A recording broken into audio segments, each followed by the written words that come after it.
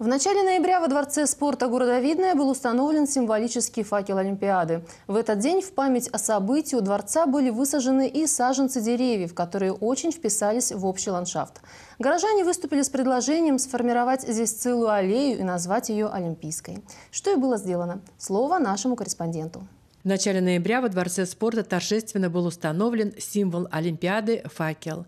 На память об этом событии горожане высадили у Дворца 100 саженцев липы. С предложением продлить аллею до школьной улицы выступили руководители и коллективы жилищно-коммунального хозяйства. И 14 ноября состоялось замечательное мероприятие по посадке деревьев. Я думаю, что улица Олимпийская, улица Олимпийская должна быть полностью э, обустроена э, деревьями, посадкой деревьев, лип. Я думаю, что в течение этого года и следующего года мы эту работу завершим. Вековые сосны на горе у Тимоховского парка могут возрадоваться. У подножия весной раскроются зеленые листочки молодых деревьев.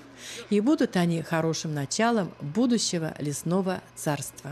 Примечательно и то, что э, эта аллея э, по э, своему э, местоположению станет э, как бы вот э, предвестником нашего Тимоховского парка, первую очередь которого уже завершена, и э, ко второй очереди мы приступим, поскольку это э, хорошая, добрая инициатива губернатора нашего Московской области Андрея Юрьевича Воробьева уже реализована и будет продолжена в части реализации. Несмотря на пасмурную погоду, у участников акции было хорошее настроение.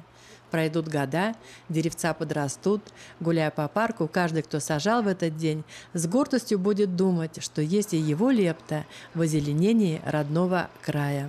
В городе Видное э, возрождаются хорошие традиции, связанные с озеленением города. И пусть улица Олимпийская станет скажем так, нашим стартовым проектом. И это замечательно.